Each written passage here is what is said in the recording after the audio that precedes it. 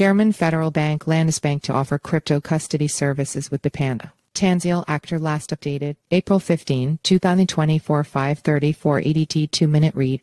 German federal bank Landesbank Baden-Württemberg has entered a crypto partnership with Bitpanda to offer crypto asset custody services in the second half of 2024. In an announcement shared with Crypto News, Bitpanda said over the next few months it will work with the German bank to provide corporate clients with a regulated platform using its investing as a service infrastructure for crypto asset custody and procurement. Bitpanda said a pilot is planned for the second half of 2024. By offering crypto asset custody, we are positioning ourselves with a clear added value for our corporate clients while ensuring the highest security standards, said Stefanie Münz, member of the Landesbank Baden-Württemberg Board of Directors responsible for finance, strategy, and operations in a press release. Bitpanda provides the necessary technical and regulatory infrastructure to offer our customers innovative and above all, secure solutions in the area of digital assets, said Münz. Bitpanda.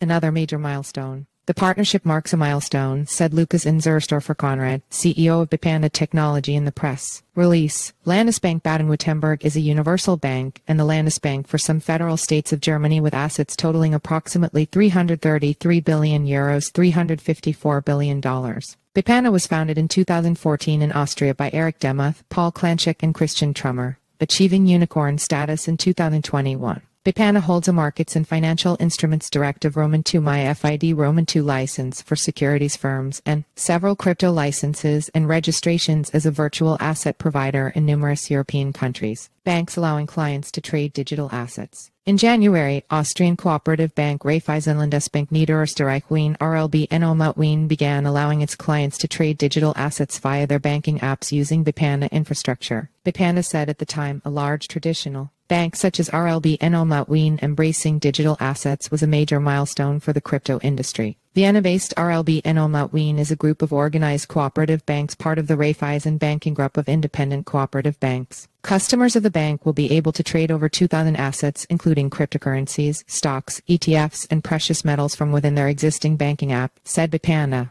Germany's DZ Bank to pilot crypto trading 2024. In February, it emerged DZ Bank, the second largest bank in Germany, is planning to begin a retail crypto trading trial this year. The service will be available for private customers who have access to cryptocurrencies independently without seeking financial advice. Deutsche Börse, one of Europe's biggest exchange operators, has also launched a new regulated spot platform for crypto assets targeting institutional clients. The German stock exchange said the platform dubbed the Deutsche Börse Digital Exchange DBDX offers a fully regulated ecosystem for the trading, settlement, and custody of crypto assets. Follow us on Google News.